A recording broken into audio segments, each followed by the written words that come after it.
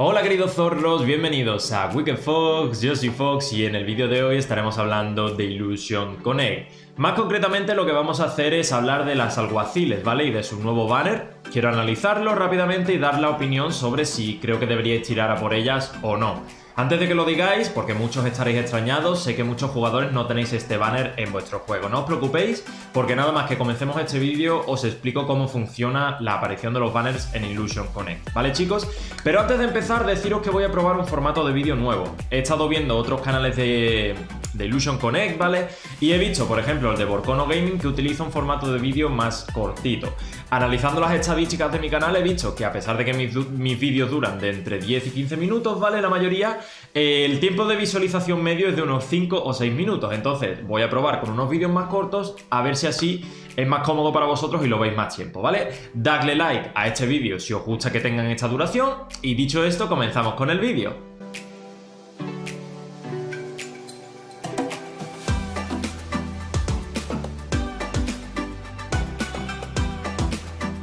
Vale chavales, antes de nada quiero dar las gracias a Meko Gremory, que es amigo mío y miembro del servidor, de acuerdo, por haberme dejado su cuenta de Illusion Connect para grabar este vídeo, porque yo en mi cuenta todavía no cuento con el banner de las alguaciles. Y os voy a explicar esto brevemente, ¿vale chicos? En este juego hay dos tipos de banners, los especiales y los progresivos.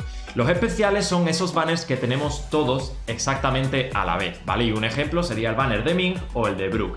Y los banners progresivos son banners que aparecen en tu cuenta específicamente en función del número de veces que hayas ingresado a tu juego. ¿Vale?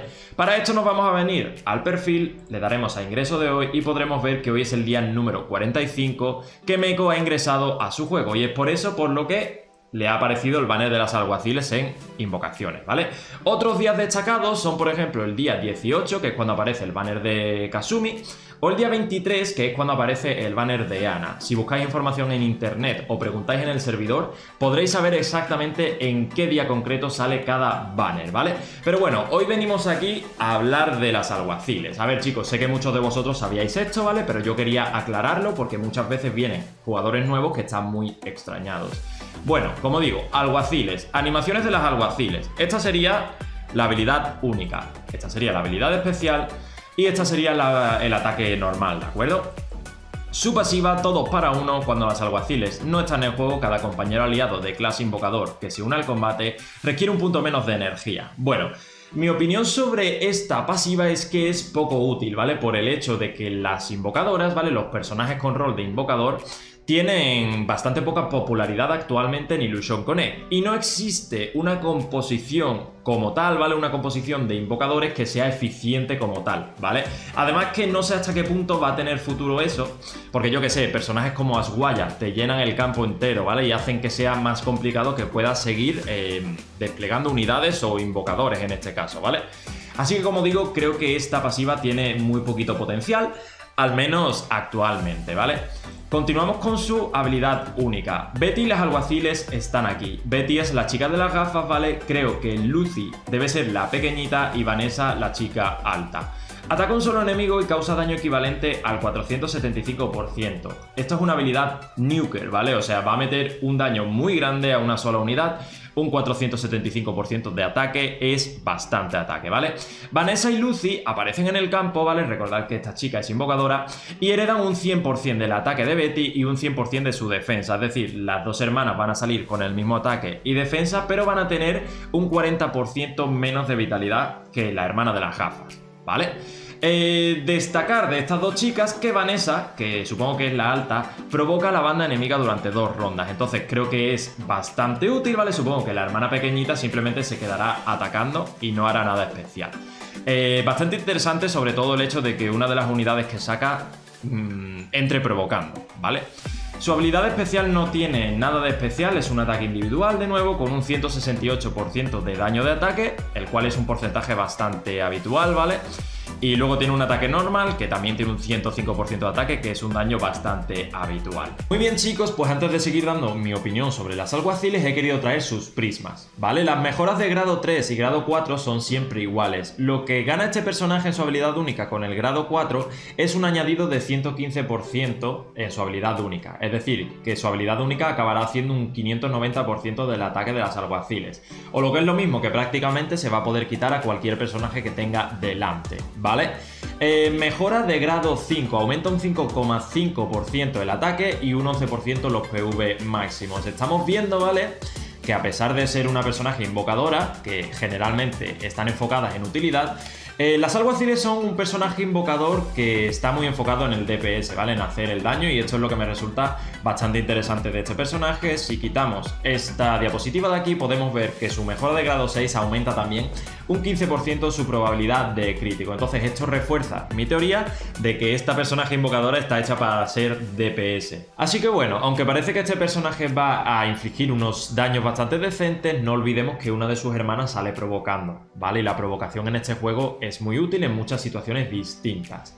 Así que nada, opinión así un poco general. Bueno, por mucho que yo pueda dar mi opinión, yo no la he probado, no la he testado, así que no puede ser 100% confiable. Pero sí que sé, por lo que he escuchado de otros jugadores, es que esta es una personaje buena a secas, ¿vale?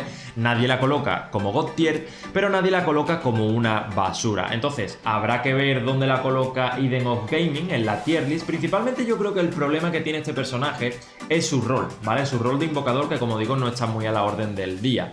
E incluso su habilidad pasiva está enfocada en favorecer una composición de invocadores, ¿vale? Entonces yo creo que esto le quita un poquito de valor. Pero también pienso que las alguaciles es un personaje con mucho potencial de mejora por el hecho de que si en el futuro salen personajes invocadores que sean interesantes, las alguaciles se van a volver también mucho más interesantes. Entonces, eh, ahí quedaría mi opinión, ¿vale? Ahora respecto sobre si deberíais tirar a por ellas o no, vamos a ver los detalles para ver qué otros personajes aparecen en este banner y podemos ver que son Fenebeth, Aswaya y Kiraya. Eh, Kiraya creo que puede ser interesante, sobre todo para jugadores que están empezando. Fenebeth y Aswaya no tanto, ¿vale? Así que mi opinión, lo que yo os voy a recomendar es que si sois jugadores novatos, utilicéis la estrategia del free to play, la cual es hacer las dos multis, ¿vale? Tenéis un 40% de que os salga un SSR de preferencia, el que tenéis en el banner, y si no, pues obtendréis alguno de los otros tres. Eh, si sois jugadores experimentados, que ya tenéis mucha variedad de personajes y demás, Podéis ignorar este banner si, si, así lo queréis, ¿vale? La única razón puede ser que os guste coleccionar personajes y tratéis de sacarlo. Pero eso sería mi opinión en lo que voy a hacer. Por suerte, chicos, yo cuento con la aprobación de Meko Gremory para hacer las dos primeras multis. A ver si tenemos un poco de suerte y sacamos a las alguaciles. Así que vamos a hacerlo y deseadme mucha suerte, ¿vale? Vamos a ver con la primera multi. Esta vez la cuenta no es mía, así que espero no equivocarme con el tema de hacer una single, ¿vale? Porque se puede liar parda. Vamos a ver. ¿Os imagináis que no sale SSR en la primera, ¿vale? Así que vamos a tener que hacer una, una segunda multi. ¿De acuerdo? Vamos allá. Mucha suerte, Meco. Y a ver si esta vez contamos con las alguaciles. ¡Oh! ¡Del tirón! ¡Del tirón! la primera, pues ahí la tienes, Meco. Tu 40% de probabilidades ha dado, ha dado sus frutos, ¿de acuerdo? Así que nada, chicos, esto sería todo por hoy. Espero que este vídeo os haya gustado. No sé de cuánto me habrá quedado, pero bueno, como digo, si os gustan vídeos de esta duración, ¿vale? Porque así es más cómodo para vosotros verlos enteros, dejadmelo en los comentarios y dejar un like si, ha gustado, si os ha gustado este vídeo. Bueno, podéis dejar un like, un comentario, todo lo que queráis, ¿vale? Ya sabéis que valoro muchísimo vuestro feedback y vuestra difusión y recordad que estoy siempre a vuestra disposición. ¿De acuerdo? Así que nada más y nos vemos en el próximo vídeo. Chao, chao.